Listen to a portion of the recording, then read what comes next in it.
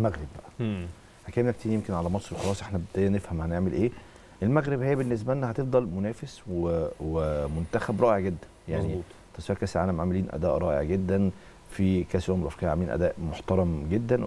شفنا إمكانيات عظيمة للمنتخب المغربي. بس أنت لو سألت أي حد في الشارع إيه رأيك في المنتخب المغربي؟ هيقول لك أشرف حكيمي ويسكت. بس مظبوط. باقي المنتخب كله رائع. كلمة معاك بقى عن المنتخب المغربي فاكر الحلقة اللي كانت عن السنغال. وقلت لك وقتها إن أنا وأنا بتفرج على القرعة عمال أقول يا رب بلاش المغرب صح. أنا بالنسبة لي المغرب هي أقوى منتخب حاليا في أفريقيا. وكأس الأمم الأفريقية هم بالنسبة لي برضو هم أفضل منتخب. رغم إن هم دخلوا بشكوك كبيرة جدا يعني لحد دلوقتي لسه الجمهور المغربي عنده شكوك في وحيد حلوزيتش بسبب برضو استبعاد حكيم زياش بسبب استبعاد نصير مزراوي. أسماء كانوا متوقعين إن هي تبقى موجودة. برضو آه، في خط الوسط توليفة خط الوسط ما- بقاش موجود بالهندا وبصوفة والأحمدي. الأسماء صاحبة الخبرة الكبيرة اللي إحنا متعودين عليها. بقى في أسماء جديدة. امرابط ما بيلعبش بشكل أساسي آه، مع فيورنتينا. خط الوسط تحديدا هو أضعف حلقات أو أضعف خطوط منتخب المغرب إحنا معانا حالات فممكن نعرضها وإحنا بنتكلم نعرضها بالظبط. آه بس إحنا عايزين نقول إن منتخب المغرب إحنا كنا بنقول إن كوت ديفوار شبه السنغال. منتخب المغرب مش شبه بقى ولا كوت ديفوار ولا شبه السنغال. منتخب المغرب مم. بيلعب بطريقة مختلفة خالص مم. بيلعب بطريقة 4 4 2 اعتماده مش على الوينجات خالص ما. عندوش سرعات على الوينجات بص يا كيمو آه، هنبص هنلاقي دايما إن منتخب المغرب عنده كثافة عددية في منطقة جزاء المنافس ده ضد ملاوي مم. هنبص هنلاقي إن في ثلاثة من منتخب المغرب ضد في منطقة جزاء ملاوي اللي هم مم. مين اللي هم أيوب الكعبي اللي هو النصيري ومع سفيان بوفال. اللي هو طبعا أهم لاعبي منتخب المغرب. نكمل في بقية الحالات أربعة في منطقة الجزاء نكمل بقية الحالات خمسة في منطقة الجزاء. نكمل بقية الحالات. سبعة في منطقة الجزاء. دايما عندهم كثافة في منطقة جزاء المنافس. ليه؟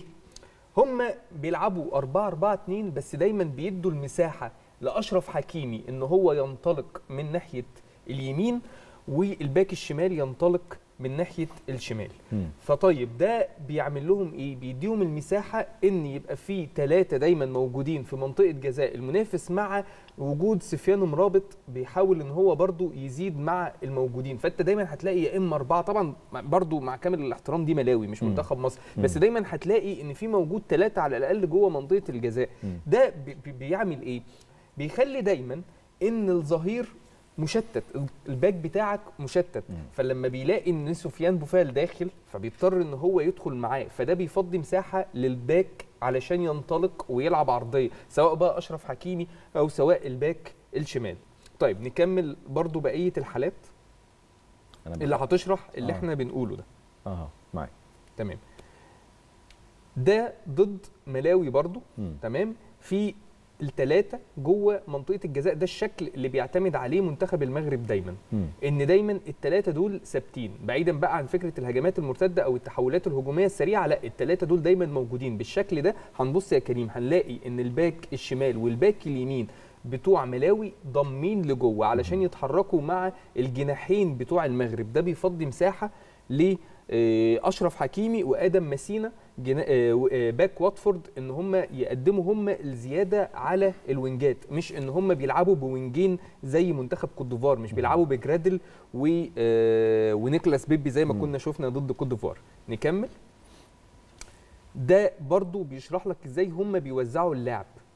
دايما هتلاقي إن هم بيروحوا ناحية اليمين أو ناحية الشمال في الوقت ده بتلاقي الباك اتفتح له خلاص مساحة علشان يبتدي خط الوسط يوزع له اللعب. الكرة دي في النهاية اتلعبت لحكيمي وحكيمي كان غير مراقب بس أنت برضو لو بصيت الناحية الثانية هتلاقي أدم مسينا برضو غير مراقب. فدايما في مساحة للباكين إن هم يتحركوا بسرعتهم الكبيرة جدا ويقدموا الزيادة.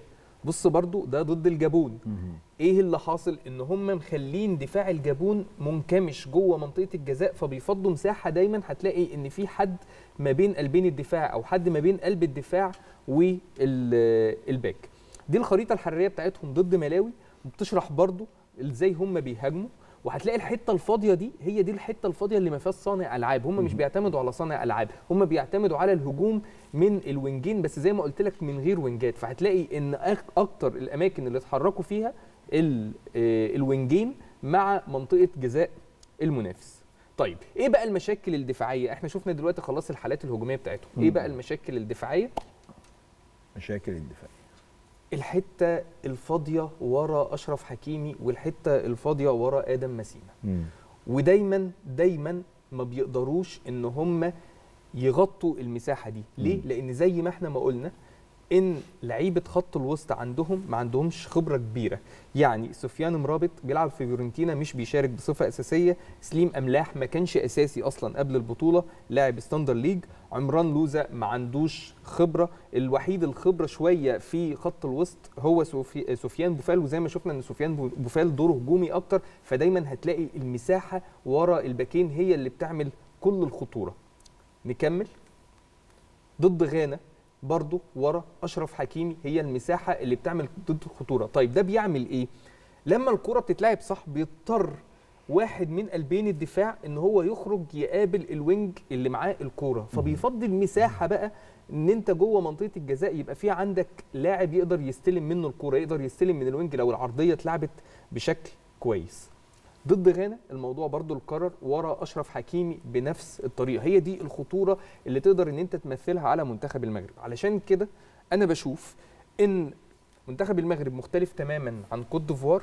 منتخب المغرب منتخب بيحب إن الكرة تبقى في رجله لأن هو ما عندوش ال- السرعات اللي كانت عنده كوت ديفوار إن هو يعمل تحولات هجومية سريعة. لا بالعكس أنت دايما هتلاقي إن الكرة في رجله. المهم انت إزاي تقدر ان انت بقى تتحول انت بسرعة تعمل transition بسرعة ان انت تستغل المساحات ورا الباكين. صحيح. ومع أرضية ملعب أفضل من اللي إحنا شفناها آه، في جابوما أعتقد إن منتخب مصر يقدر يعمل ده كويس لأنه هيقدر يحتفظ بالكرة في ال transition إن هو يقدر يلعبها سريعا لأن بصراحة إحنا شفنا كام كورة ضد كوت ديفوار من مصطفى محمد مثلا كانت بتبقى لمحمد صلاح بتروح بشكل غريب. ف... فإن شاء الله يعني خير. نقدر نستغل إن شاء الله.